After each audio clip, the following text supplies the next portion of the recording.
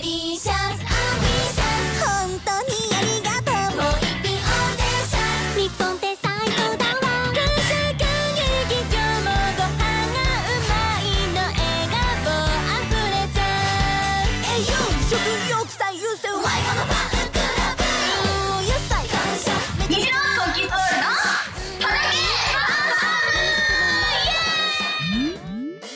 ファンファームシーズン2今回は中村あかりがナレーションをお届けしていきます。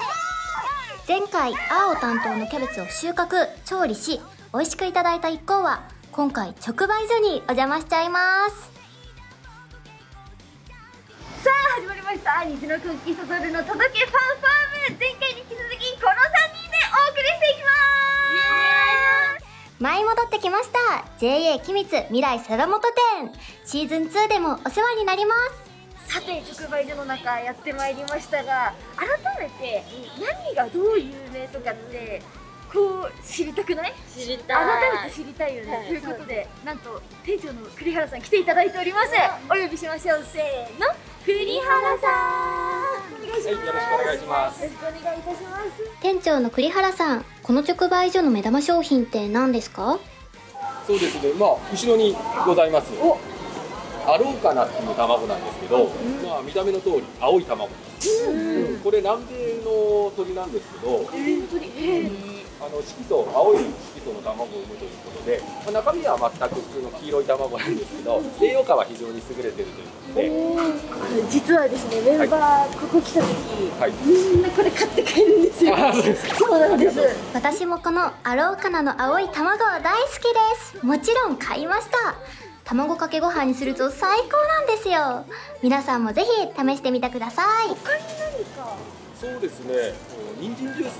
人参ジューそれがこの君津三船山の人参ジュース。非常に栄養価が高くて美味しくて甘いジュースなんです。ありがとうござい。ますそれでは直売所の中をちょっと散策してみましょう。何が見つかるかな？わかりますあがりだよさっきのねジュースも。あれかな人参ジュースのあのそうだ黄色の方かなでっかいねよいしょ黄色いこっちに書いてるガサップスねえキャベツ。キャベツ。あらいちごじゃないの大好き君津さんこれは弥生姫という品種らしいですよ弥生姫姫だってよ姫だってねあかりん千葉といえばやっぱり落花生ピーナッツ。つぶつぶってちょっとなんか食感残ってるやつ？そうそうそうもうあのかけらが入ってるよみたいな。えー、ほええー、どっちどっちも美味しそう。ー、やばすごい。全部千葉県産のお肉。ね見てこれ。これやばくない？ここれはやばいって。赤みが。しねえなでやりません？このおお肉で青玉ですき焼きとかどうですか？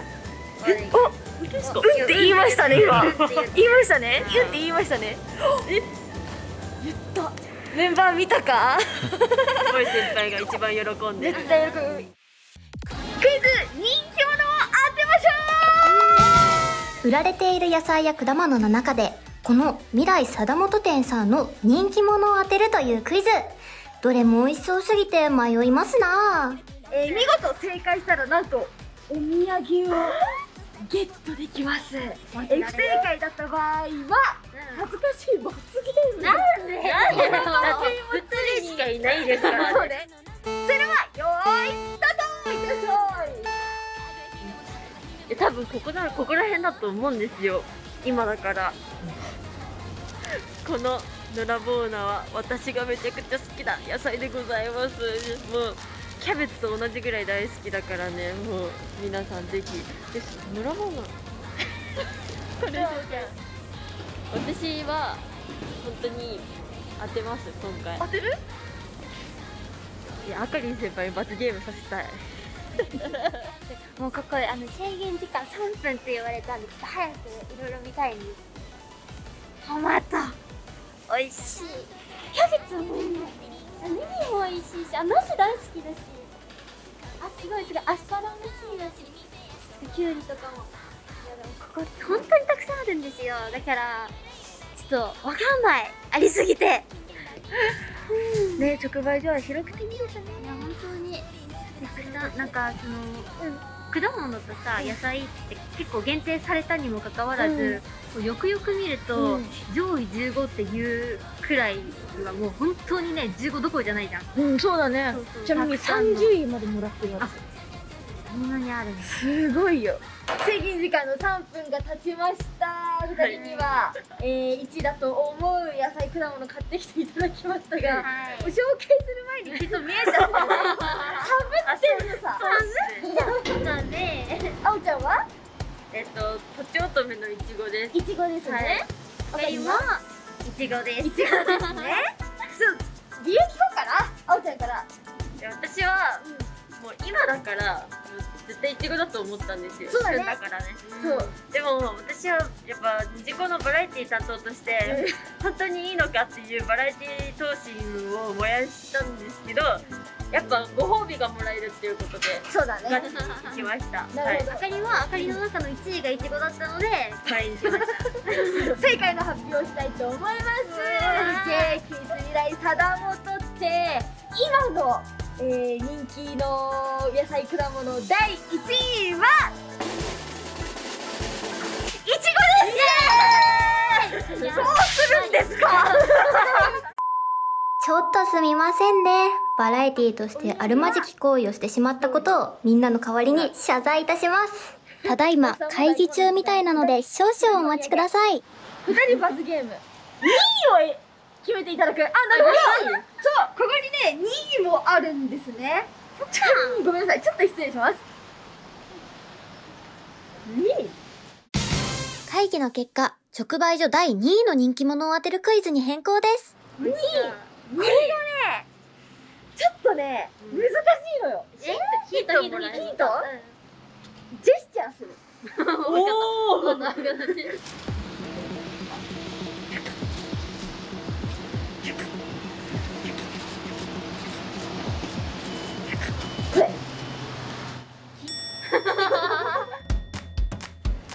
でもニョキ。ニョキ。ニョキニョキニョキ。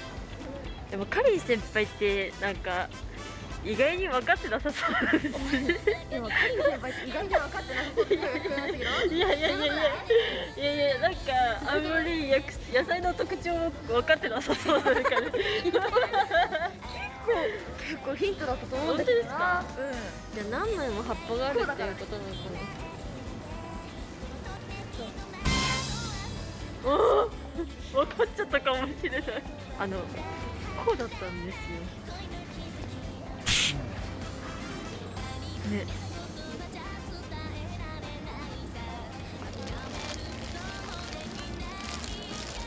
かりん先輩の足を信じて。えでも葉っぱ類を葉っぱ類こういう葉物をねニョキとは言わないような気がする。じゃあでも、まあ、ニョキっていうヒントをいただいたんですけれどもやっぱここはあかりの中の第2位を選びたいと思います。と思いますがじゃあさせていただきます。あかりそれはアスパラです。アスパラガス、い。ほうほうほう。どうして選んだ？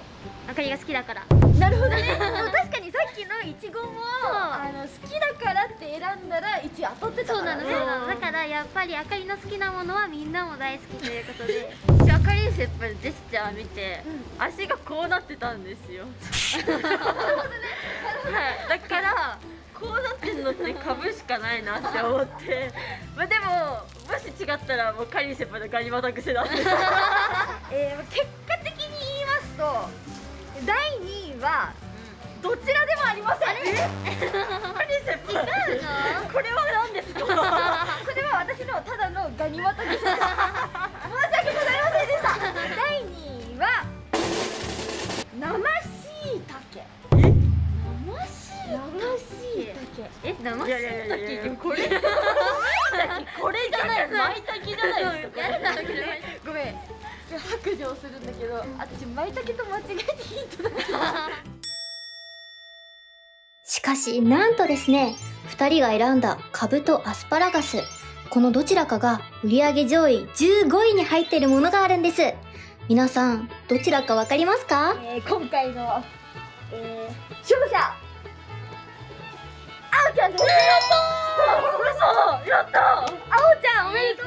クリー先輩のこれのおかげで未来貞本店さんでは、株が上位15位に入っていました。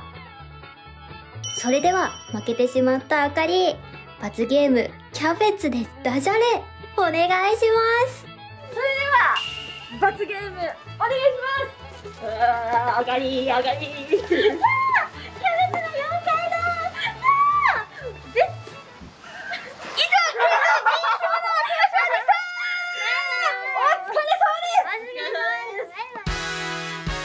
もやります、2時前。早速行ってみましょう。去年も二次米作りでお世話になった玉川さんに来ていただいております。玉川さん、よろしくお願いします。お久しぶりです。よろしくお願いしますシーズン1で挑戦した2時前に協力していただいた玉川さん。また今年もよろしくお願いします。今年もコシヒカリをやる予定です。これからあぜ作り、ああの機械でねあぜ塗り機で水が田んぼに水が溜まるようにあのあぜ作りをするんですね。で一回耕した後水を入れてまたあ耕してということを繰り返していきます。で田植えができるような状態までやっていきますね。本当は3回はやんなきゃいけないんですけど。繰り返すんですか？まあその他にねあ草がなんか生えてきますからそれを買ったりね、いろいろ仕事はあります。もう玉川さんいらっしゃると心強さ半端ないよね。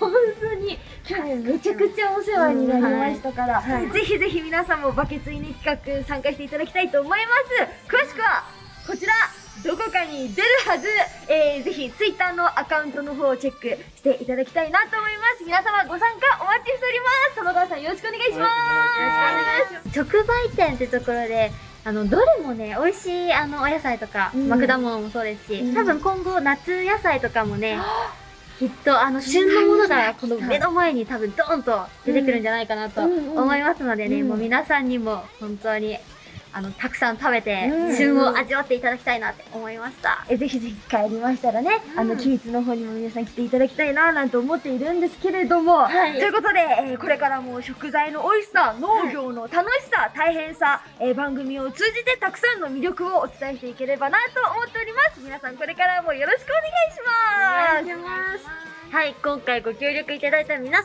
んありがとうございました。ありがとうございました。せーの、次回もお楽しみにバイバイバイバイさて、今週はここまでですが、皆さん、もちろん始まってますよ。青カメラマンによるカレンダー企画。ノリノリの撮影裏、ちょい見せしますね。どんなカレンダーになるのか超楽しみだね。そして、来週は？ネモちゃん降臨。次回はメロンについて学びに茨城県にお邪魔しちゃいます。県鉾田市に来ております。My baby